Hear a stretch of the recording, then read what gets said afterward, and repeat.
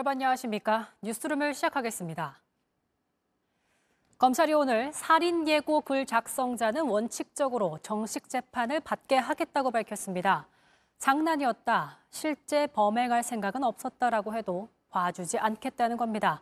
특히 눈길이 가는 건 미성년자도 예외가 아니라는 건데요. 정부는 남비된 공권력에 대한 손해배상도 준비 중인데 미성년자라면 부모에게 책임을 묻겠다는 입장입니다. 첫 소식 이서준 기자입니다. 신림역 살인 예고 글을 올린 20대 남성, 해화역 흉기 난동을 예고한 30대 중국인, 놀이공원 살인 예고 댓글을 쓴 10대 남성 모두 구속돼 정식 재판을 받고 있습니다. 대검찰청은 오늘 이처럼 살인 예고글 작성자에 대해 정식 기소를 원칙으로 하도록 전국 검찰청에 지시했다고 밝혔습니다. 특히 작성자가 미성년자여도 예외를 두지 말도록 했습니다. 소년범도 소년보호사건 송치 또는 정식 기소를 원칙으로 하고 정식 재판을 받지 않는 기소유예는 지양하라고 했습니다.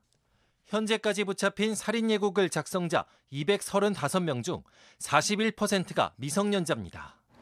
여기에 법무부는 살인 예고글 작성자를 상대로 손해배상 청구도 준비 중입니다. 이 역시 미성년자를 예외로 두지 않겠다는 방침입니다. 상당수가 미성년자이거든요.